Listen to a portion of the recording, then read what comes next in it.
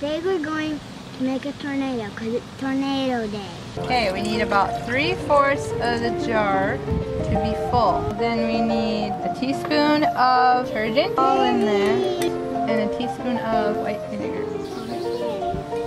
Okay, the water's already a little bit blue, but we're gonna go ahead and add a little bit of food coloring just to make it a little bit more fun. Okay, you have to shake pretty vigorously to make it stay for very long.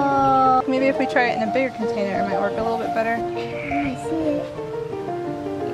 I don't feel like that's really any better than the other one. Put a little bit in there and let's see what a tornado does to them. It's working. Woo! It's working. Found that actually stirring it